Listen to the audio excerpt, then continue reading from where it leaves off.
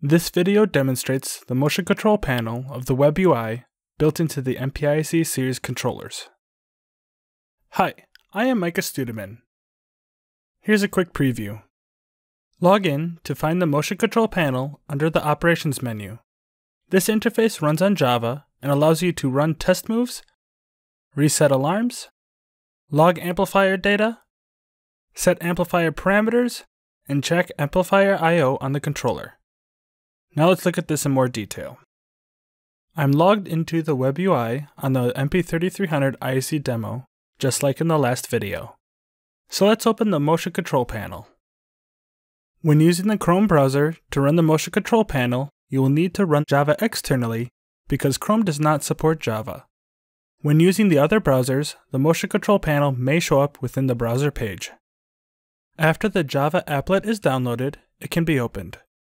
If Java is not up to date, a message may appear asking if you would like to update Java. Since I know it works on the Java I have installed, I will update Java later. Another dialog box will appear, checking to see if you want to run this application from Yaskawa. I will click Run because I trust Yaskawa. The motion control applet will then start running. The upper portion of the motion control panel shows some axis information and allows you to perform a test move. The Clear Alarm button clears the main alarm for that axis. When using the test move functionality, the program cannot be running on the controller, so the stop switch needs to be turned on.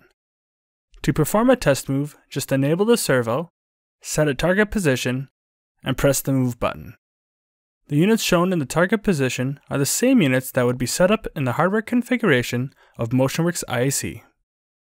The bottom portion of the motion control panel contains six different tabs. The first tab is the Alarms tab. This allows alarms both on the controller and the amplifiers to be seen and reset. This Clear Alarms button clears all of the alarms as long as they can be cleared. The Reset ServoNet button forces the controller to reconnect all MECHATROLINK devices.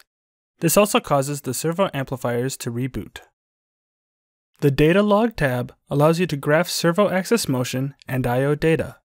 The Start Logging button allows you to set up the data for logging, along with the period and the trigger. Once the trigger is set, the Start button can be pressed to start logging. So if I ran a test move, you'll see that the requested waveform is being captured in the data log area. The Display Options button allows the color, offset, and scale to be changed. The Save Log button allows you to save the waveform to the computer as a CSV file. The FFT button allows you to take an FFT of the waveform. The Axis Parameters tab contains a select number of parameters that can be changed in the amplifier. These parameters, however, are not saved within the controller or the MotionWorks IEC project file. The Drive PN tab allows any amplifier parameter to be set. This, however, is not a recommended way to set the parameters, because just like in the Axis Parameters tab, the parameters are not saved within the controller or the MotionWorks IEC project file.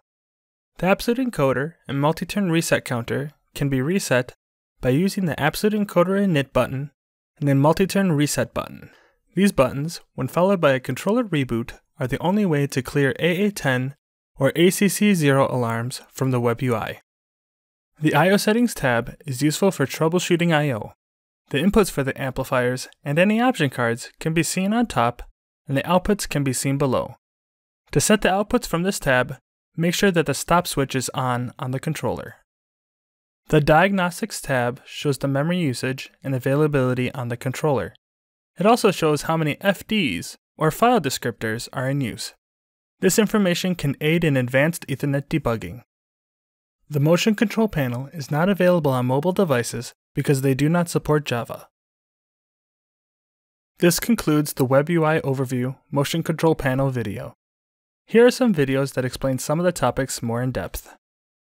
Thanks for watching this video, and remember yaskawa.com slash IEC for application notes, videos, firmware updates, and more.